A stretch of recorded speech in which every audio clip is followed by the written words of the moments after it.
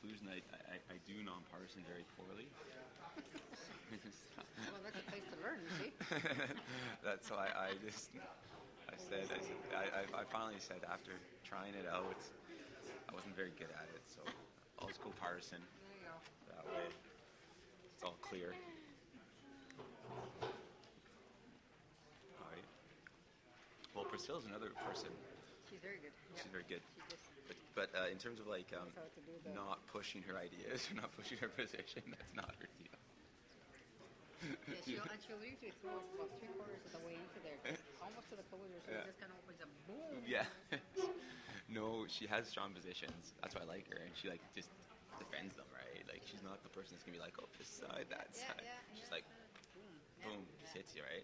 Which I think is great. Mhm. But I think acting is gonna be both, right? I think some academics who are like to weigh things. Other academics are like, you know, just get to the point, right? This is what you, uh, you know. Academics and people who have to work out there, you have to kind of. Yeah. Well, a- academics allows us freedom, I think, to, to be one or the other. Yeah. Right? If you want to be sort of like, you know, Yeah, yeah. playing both sides a bit, that's Yeah, fine. yeah. But if you, I think anyway, it's a legitimate, some people might disagree, a legitimate academic choice just to be like partisan. Hey, Lorraine, thanks for coming. What? I should be. Actually, I have to partway through because I have Okay. another meeting at five. Okay. As long as you hear what I have to say. Well, I'm gonna like try to storm out. Okay. We'll talk that fair enough. That's what I'm looking for. Okay. It's the reaction I'm looking for. Mm. All right. Also a good turnout. You usually get so many people, or is it mixed? Mixed mix sometimes? Really. Yeah. It's a challenging exercise. You know, people Is it- never know what's Is it every month, or is it no? Um, uh, times it's almost every week. Um, uh, every week or two there tends to be something, and then we wrap Oh. up a little before the end of term because numbers start to drop off. Yes, obviously. Students. So Okay. today we've got a mix of students and some members of the public. There's Yeah. public turnout today uh, compared to some. This this this is a topic that does get topic, certain yeah. people out yeah. more than other topics, right? Some topics we get lawyers from downtown, but it's Mhm. increasingly tougher for them to get over here anymore Yeah. because of traffic and parking. So Yeah. I never thought of that. but that used to be a, larger Mm. component of the audience sometimes on a legal document. Yeah, sounds good. Would you want to start? Yeah. Why.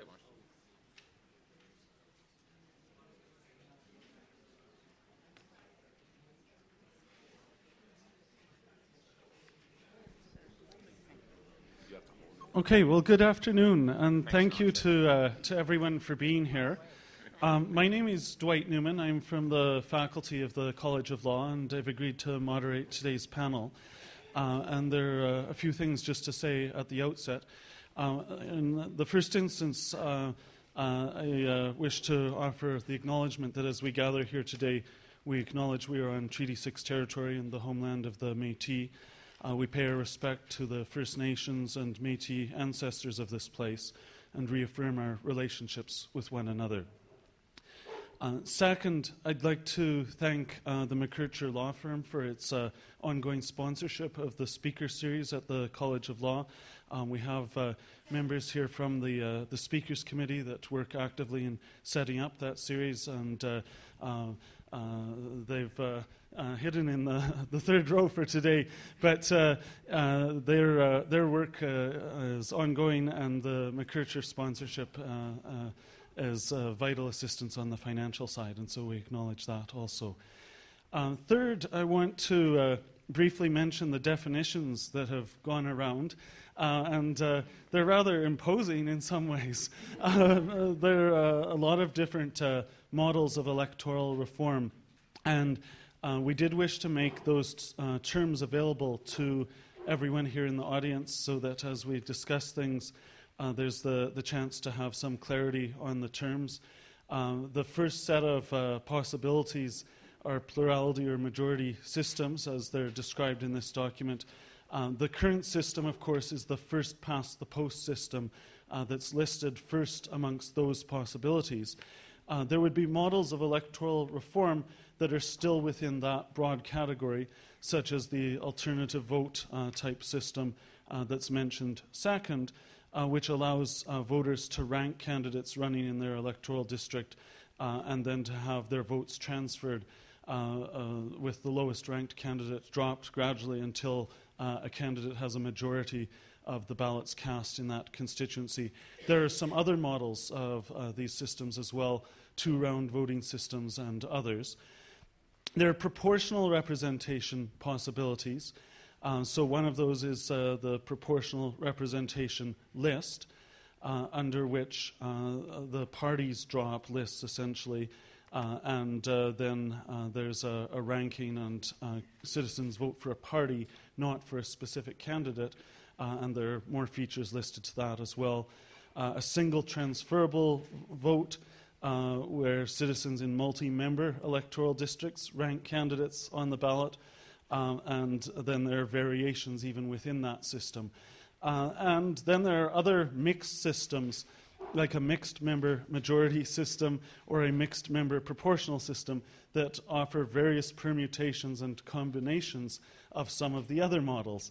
Um, so there are a lot of different models that could be under discussion, uh, and uh, we've handed around this, uh, this handout just to try to help with some clarity on that.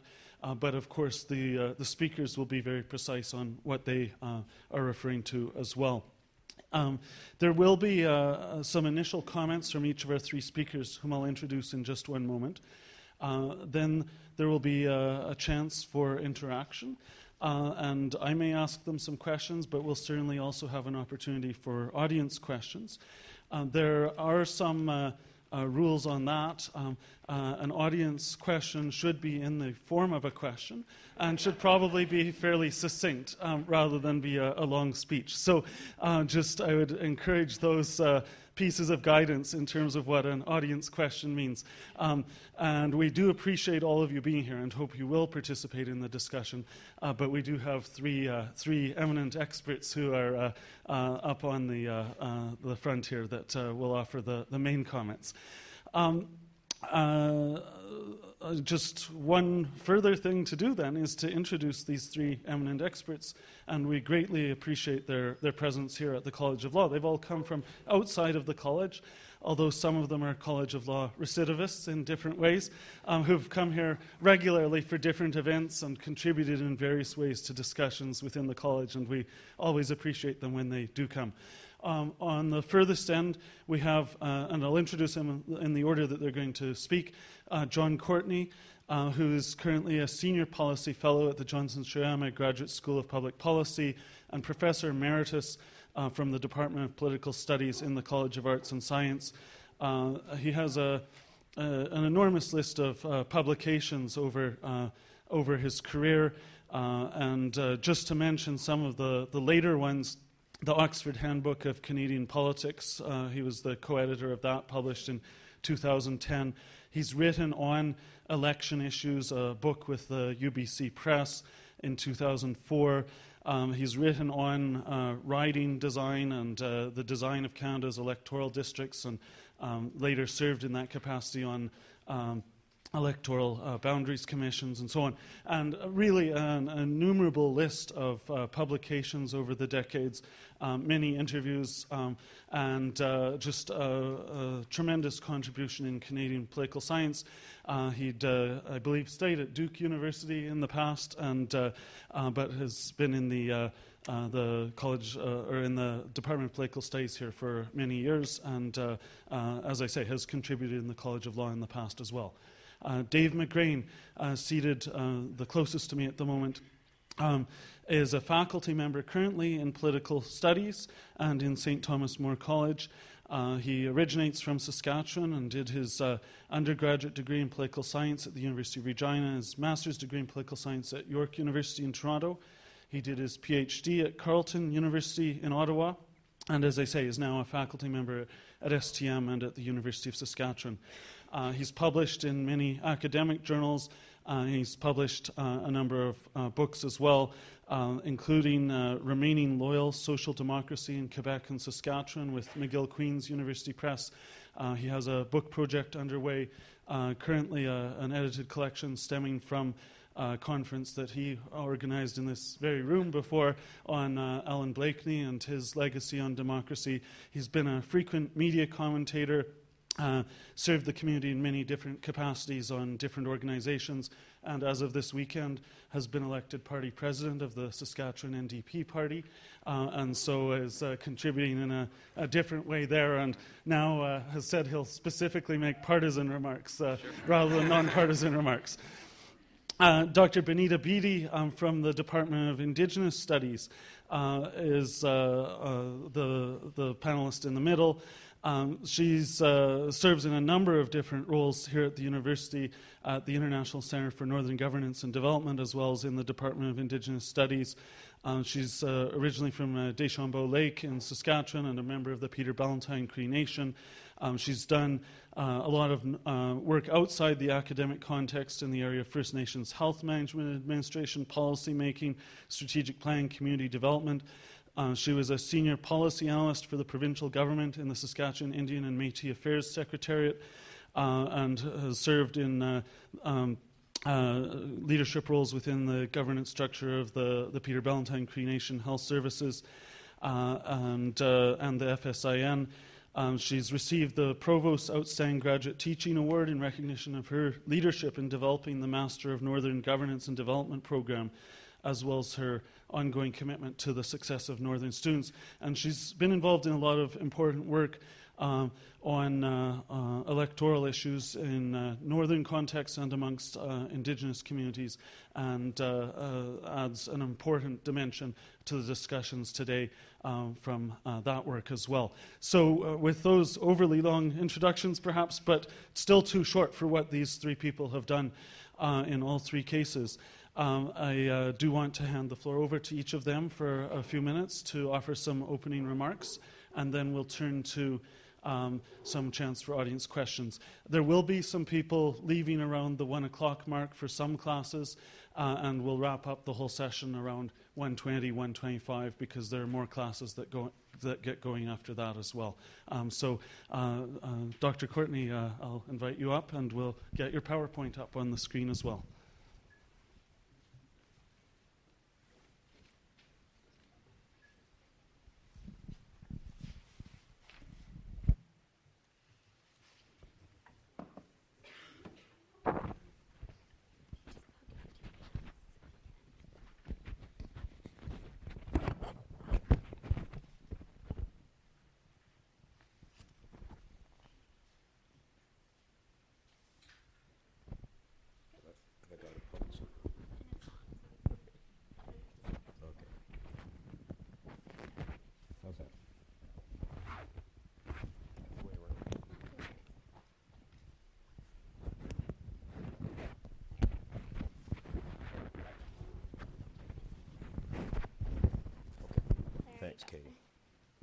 Thank you, Dwight, for that very kind invitation, and thanks to Wanda Wiegers and her committee for having invited me to take part. Is this on? The audience is saying they can't hear you. Oh, okay. okay. It's on, but you can't hear me. How okay. about everyone? Okay. Is that all right at the back? Yes. Okay, good. Uh, I uh, would like to thank Wanda and her committee for having invited me, and Dwight for having served today as moderator. It's a pleasure to be back in the law school a year ago, right now, in this very room. As Dwight pointed out, we were having a conference in honor of Allan Blakeney. And it was truly a great conference. It was a wonderful chance for academics and practitioners to get together for a weekend in honor of a, an outstanding Canadian. Now, I, what I've done today is put together a little PowerPoint presentation that I'm going to run through very quickly, and by, by all means, at the end of the exercise, when the three speakers have completed, then by all means do raise a question about any of the points that I'm making. I first want to talk about uh, four, I, I want to make clear that there are four known established facts in political science about electoral systems. The first is that there are no perfect electoral system. Each has its own strengths and its weaknesses. Uh, this is not by any means a new debate in Canada.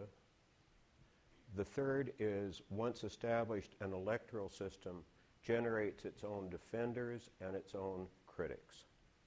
And fourthly, changing a system should be made only when there are compelling reasons to do so. So let's look at each of those four points. First of all, no perfect system. And I admit at the outset there are some systems better tailored to some political uh, institutions than others, but none, no system is absolutely faultless or flawless. Canada's first past the post system, for example, and you've got this on the little handout that you were given, first past the post. And by the way, there is no post that you have to get by.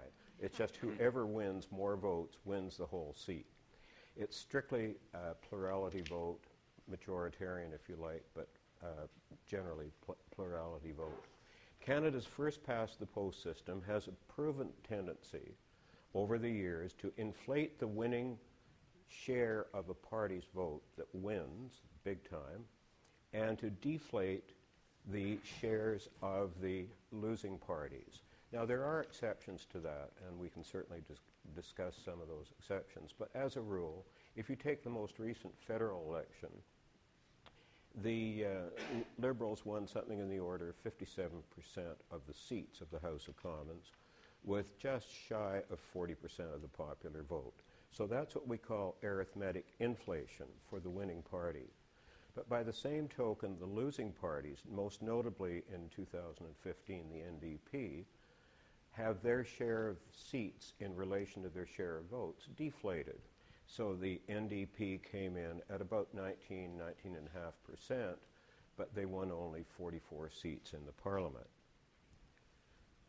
Uh, in addition to that, those facts of, of uh, first past the post, there's also questions emerge about representational uh, concerns, principally regional and demographic, on the grounds that they play an, also an important part in considering election options.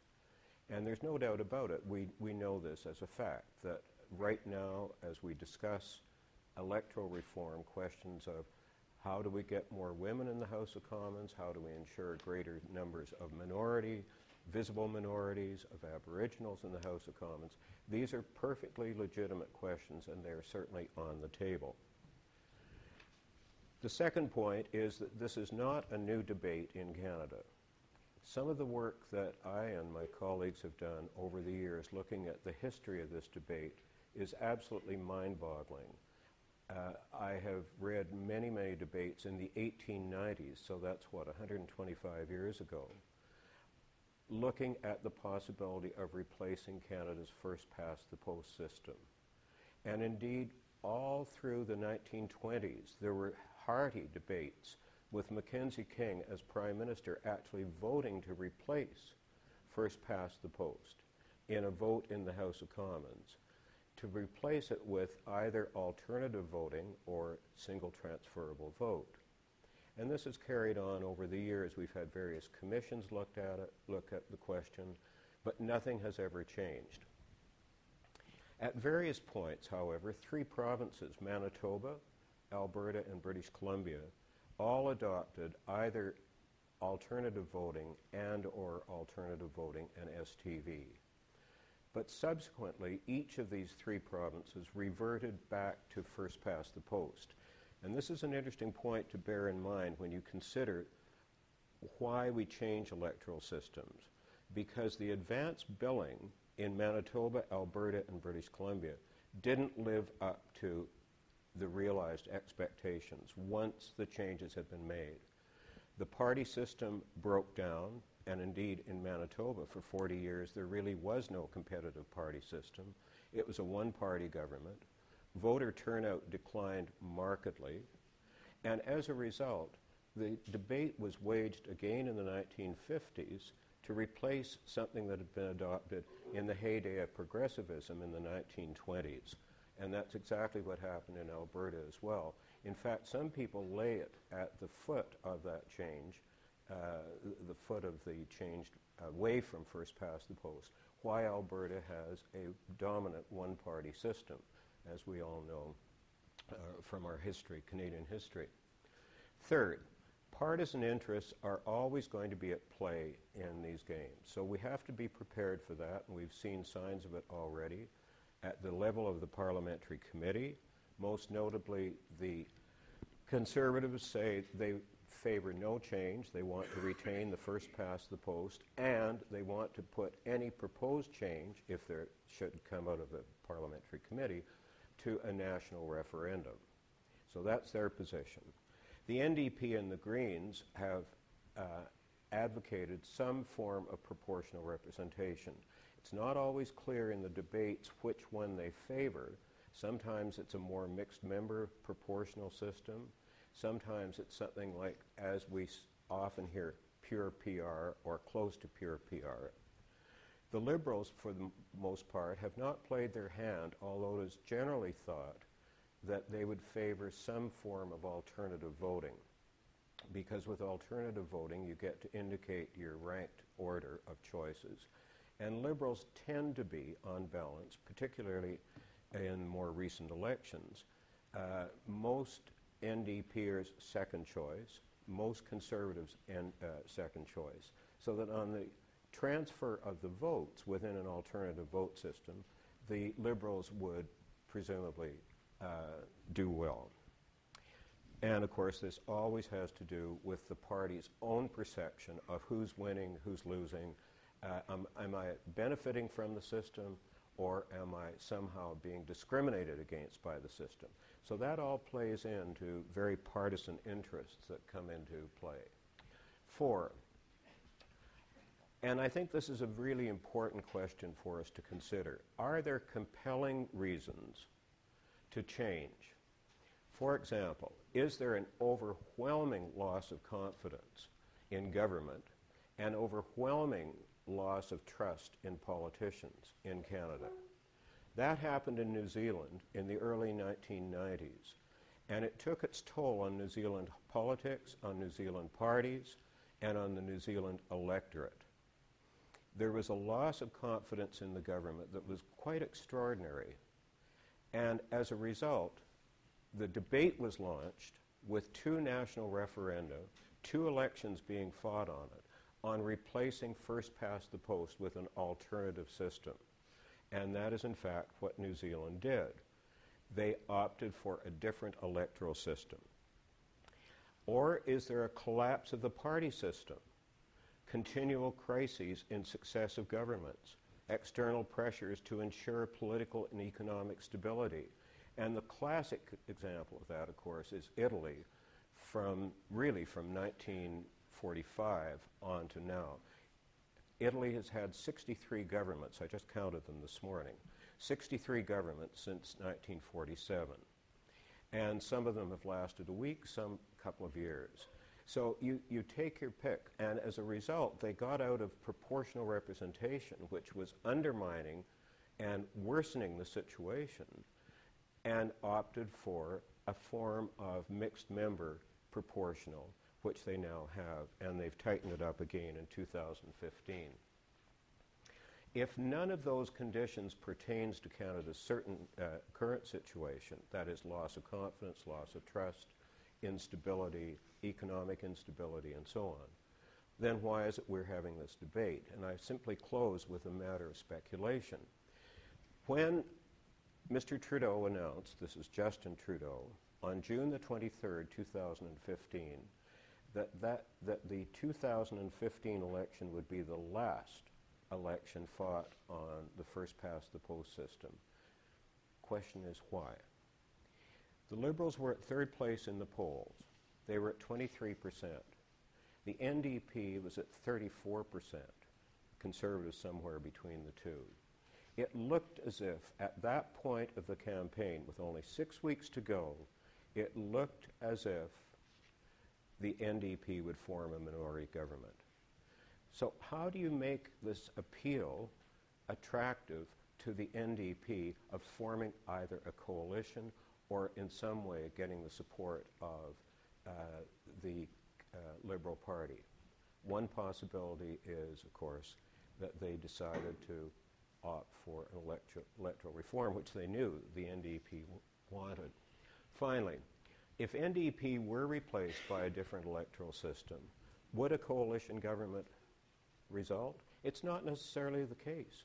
Canada has had 43 different elections since 1867. Only 11 of them have led to minority governments.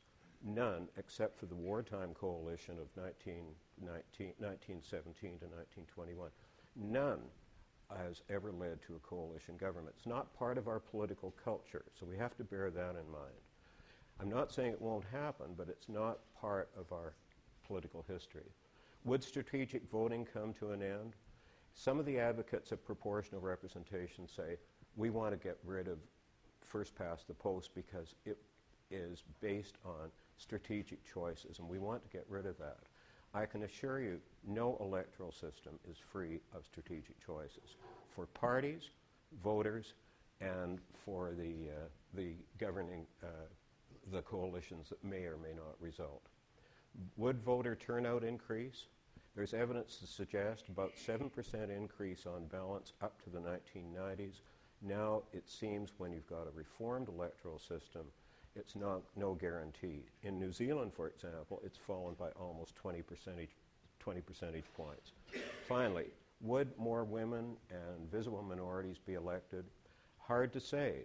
Some countries with proportional representation, arguably Israel, the purest form of PR in the world, uh, stands uh, no, no better than we do in the international ranking of where uh, women stand. Visible minorities, we're already up to 46 uh, in the House, and it could very well be that this is not a feature of uh, a proportional system that is necessarily a slam dunk.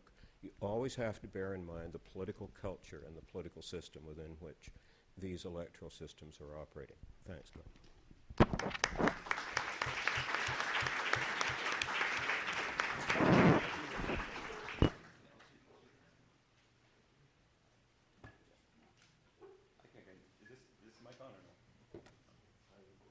Is this mic? Oh, I think it's on.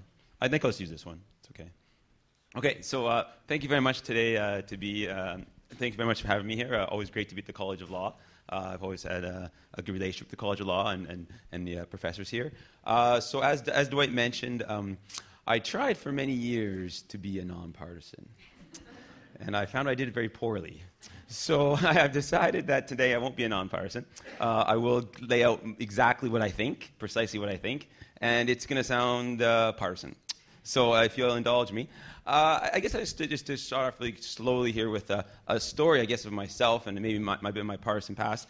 I remember in I remember my first actually I remember my very first election. My first federal election was in 1997. I was uh, I just turned 18. Uh, I had a bit longer hair. I was flowing long hair. Yeah, it was actually dyed blonde even.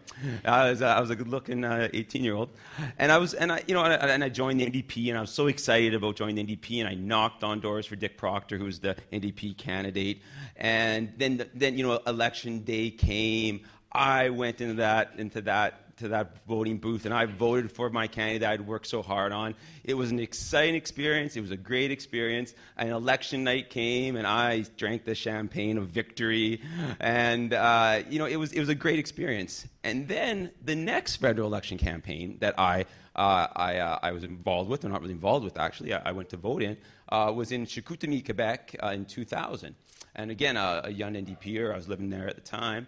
Uh, you know, the NDP had a what they called a poteau, really no uh, candidate necessarily, right? Uh, uh, just wasn't very much of a factor, obviously, in that in that election. It was a, I think the riding kind of switched between the Bloc Québécois and the Liberals, and I dr- I drug myself to the polls, right? I was like, jeez, oh, I mean, I'll go, right? I'll go, but I mean, it really doesn't matter what happens here, right? I mean, I'll throw in for this guy, uh, you know, this NDP guy, but I mean, it's not going to really matter. So you know, I, I, think when we talk about electoral reform sometimes, we have to talk about it as much as we can from the perspective of the voter, right? What does the voter feel the, when they actually go and participate, right? And I guess uh, this comes down to some uh, uh, problems that I find with the first past the post system. And John talked about compelling reasons to change. I guess I'd submit to you today that I have about three compelling reasons why we should change away from the first past the post system. Um, and I'll go through them rather quickly. Uh, number one, I think the first past the post system creates false majority after false majority. Uh, the pattern, I think, over the last 30 years in Canada has been pretty clear. Uh, you get one uh, party that gets somewhere, if they, if they can just get close to that 39, 40% mark, they pretty much can get a majority government, right? So you've had a, a, pattern, I think, in Canada for about the last 30 years or so that somewhere around 60% of the people do not vote for the government that they get, right? And to me, that really, I think, violates a democratic principle of majority rules. And in fact, since 1921, only three times has the federal government been elected with over 50% of the vote. So I think this idea of, of false majority after false majority, and we have a system that, that creates false majority after false majority, I think is something very negative for our politics. Uh, the second reason is the twin problems of wasted vote and strategic voting. So, uh, for instance, I remember I, I, uh, at the end of one of my classes during the federal election in 2015, this young woman came up to the front, right? Uh, she, uh, she was taking the class, uh, but she wasn't in political studies. And she kind of took me aside and she said, Oh, I'm from Warman. I'm from Warman. I said, Okay, yeah, good, good. And she's like, Oh, um, but, you know, um, I don't really think anybody conservative really has a chance there, right, Professor? What do you think? So, I could have lied. He said, "Oh no, no. I mean, if things go right, uh, Justin goes down, uh, Mulcair goes up. I mean, maybe that that riding's gonna go the other way." And I know, I knew that she wanted me to say that to her, right? I knew that she wanted me to say that to her. So I was in put in this really strange situation where I was like, I, I was like, well, it's, it, I mean, I, I, did this, right? and uh, I finally said, well, it's a tough riding for any other party, right? It's a tough riding for any other party. I mean, the conservatives are very solid there. You never know what's going to happen. And she kind of said, "Oh, okay, that's kind of what I thought. I don't think I'm going to vote." And she kind of kind of walked away. Um, wasted votes, right? A wasted vote. And this and this woman, you know, in in in, in our system, right? You know, f- felt compelled to think like that. And this young woman ended up voting. Uh, the other thing with that, obviously, is that so if it's not a wasted vote, then strategic vote right? Strategic vote. I can't tell you how many times in the last campaign these people would stop me on the street. I was on the television once in a while. I was known as political science, and they'd come up. They almost have tears in their eyes, and they'd say, "Listen, who has the better chance of beating Stephen Harper in Saskatoon University? I gotta know. I gotta know." And you know, they never asked me about policy, by the way. I could have told them that. I could have. I could said, "Oh yeah, I can tell you that." But no, they were like their eyes. I remember their eyes. I'm like, "Oh, I don't know," and I didn't know. How could I know that, right? So strategic voting as well, I think, is a big problem. And I did some polling after the last federal election, and I actually found that just under a quarter of Canadians, about 25, 25% of Canadians, re- reported in the polling I did that they did not vote for their preferred party. So, by a quick math, if my polling is correct, and I could be off a little bit, I would say there was around 4 million Canadians in the last federal election that did not vote for their preferred party. They voted for another party. Uh, I think also First Past the Post uh, creates uh, disincentives to cross party cooperation. Uh, I think you have a lot of incentives built in to be very adversarial because all you have to do is get that 39, 38%.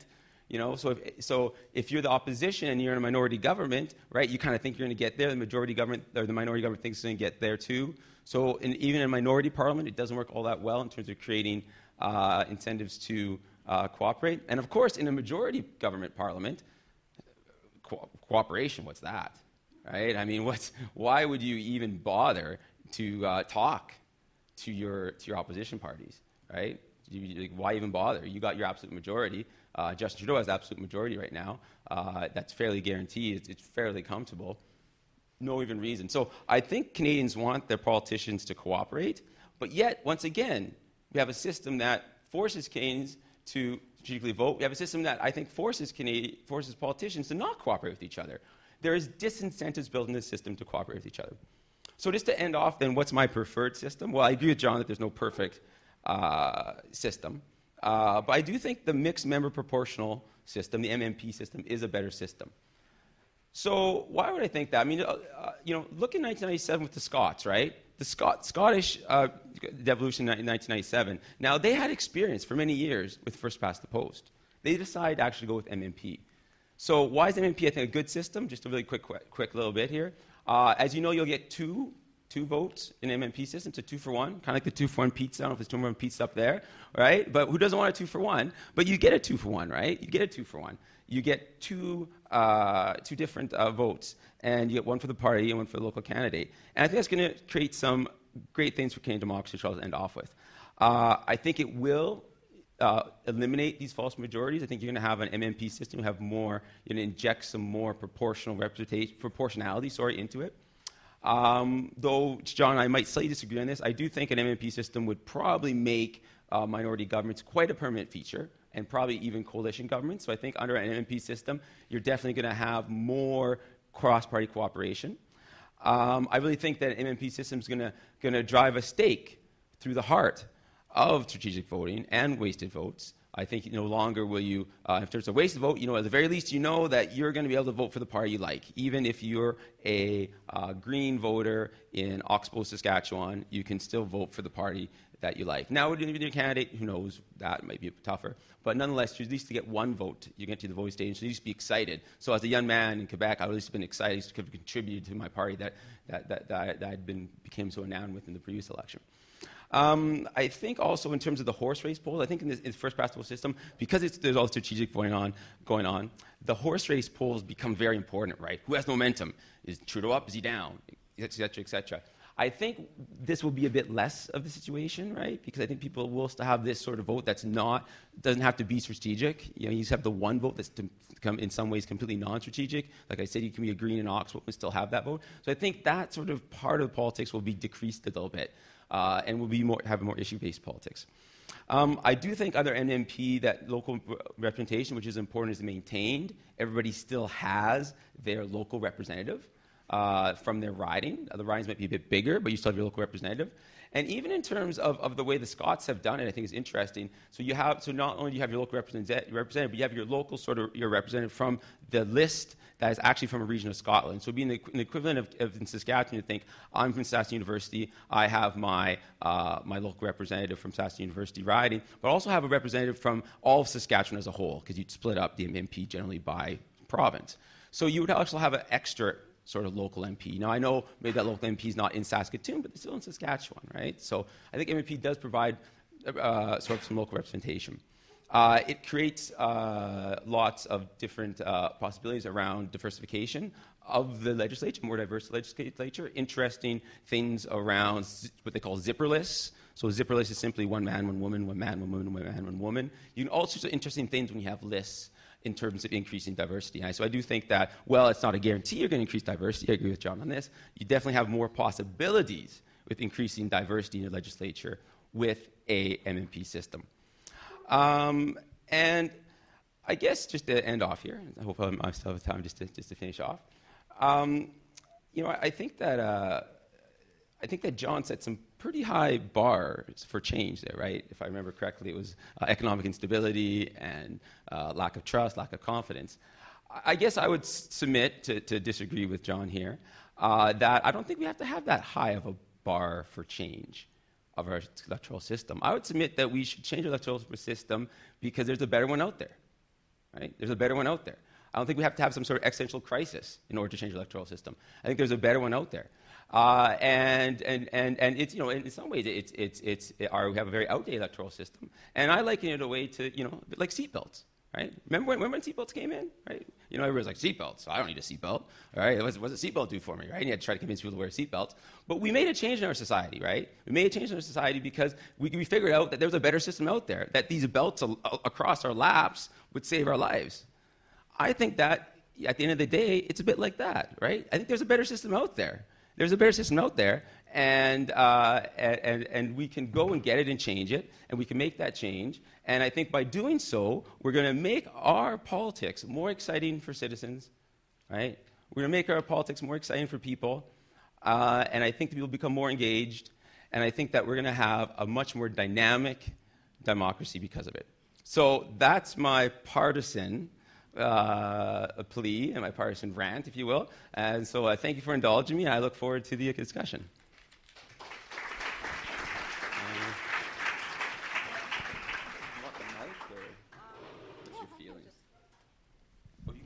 Oh, okay. The mic might be easier than that. Oh, that's okay. I'll, uh, I'll figure it out. Um, uh, now you've heard the one side and the other side, and I'm in the middle side. So I guess this is uh, um, my comments are going to have to do with uh, indigenous um, perspectives and perhaps not so much um, indigenous, but certainly my perspective on um, what electoral reform or whether there should be an electoral reform or if so, what, what should it look like and so on. So, you know, in the, in, uh, we inherited um, the British colonial system in terms of the parliamentary system, and we ran through some, you know, skirmishes with different things with indigenous peoples in Canada. But one thing for sure, um, I'm really glad, is that I'm not in the United States right now. And uh, I'm quite happy where we are. So, uh, um, but this whole story of indigenous peoples within any uh, British inherited system, because it is a colonial system, it's beyond our time. Um, but it certainly was a fledgling democracy, and it created systems and rules around elections and who could vote and register and so on that excluded a lot of people. It certainly excluded indigenous people, excluded gender for many, many years. And uh, so I guess the whole indigenous relationship with electoral systems has to do with uh, the story of engaging. It's a story of engagement uh, to whatever degree it is with, uh, with the Canadian political system. And uh, there, there's a, um, a spectrum of views on that that I've heard over the years, and certainly if you're looking at the um, voting turnouts and so on that we've looked at. And um, on the one hand, you'll have people who will uh, corroborate and will say, yes, get the indigenous people right into the election system, getting in, get them into representatives in, in parliament, in the legislatures of our provinces, get them into the system period, get them involved in, in, the, in the processes leading up to getting, um, um, uh, getting, in, getting elected, and so on. And, and on the other hand, you have other people in the indigenous community that will say, hmm, no, we're not, we're wasting our time. They're not going to, no matter which party gets in, they're not going to listen to us. We're, we're, they're just going to tell us things that are, that are not going to be right anyhow.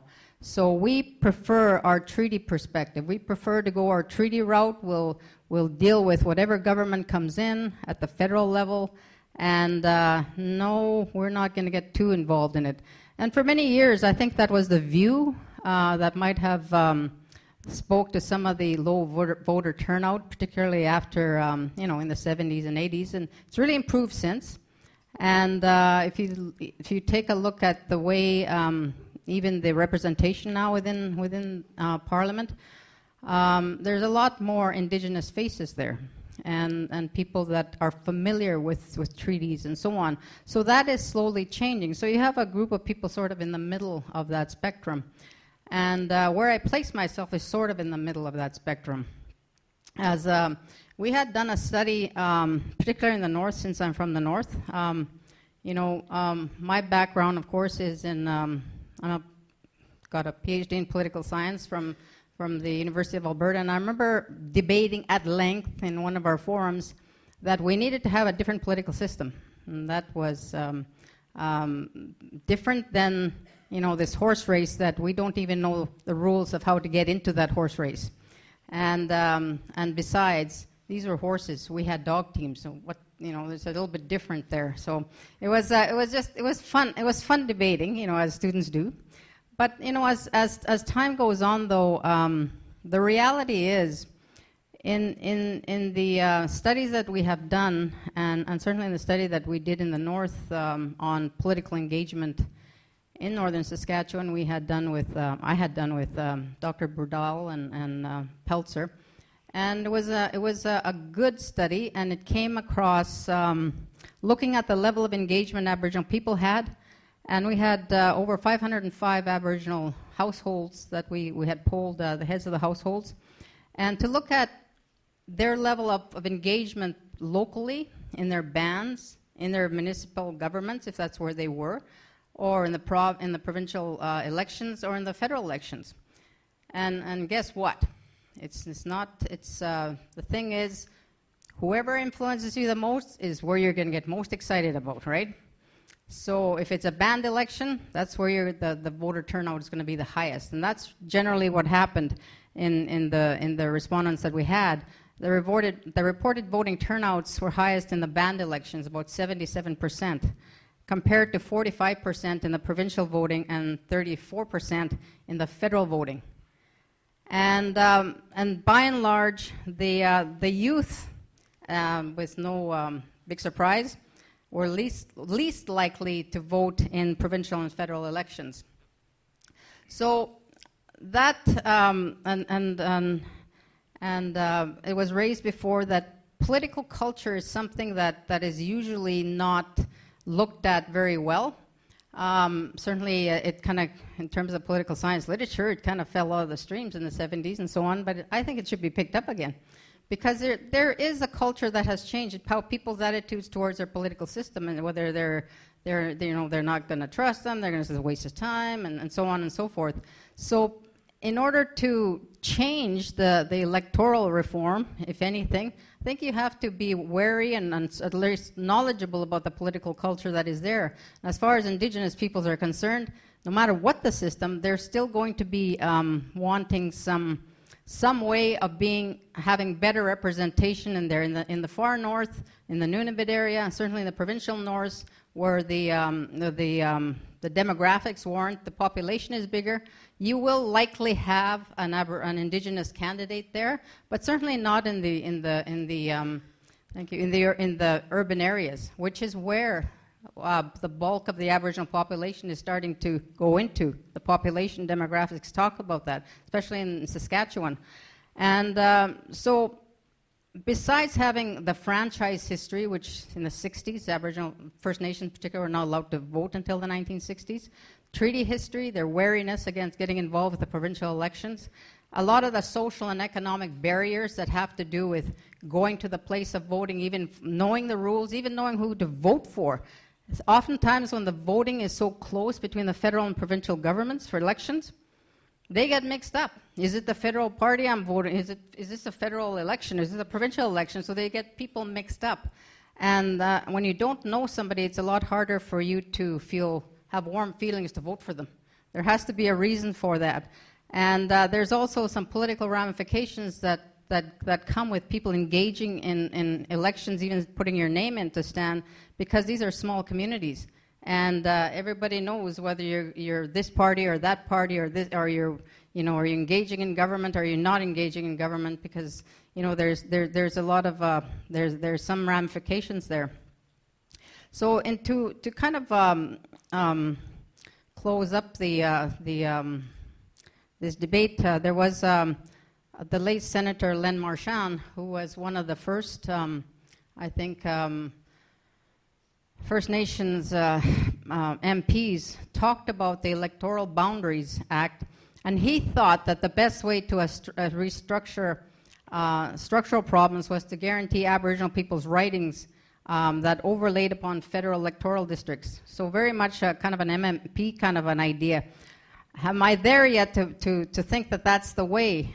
I'm leaning towards that, but I'm not sure what that means because there's so many formulas as well in there. And I think that's generally the feeling of most um, people, at least uh, within the indigenous community.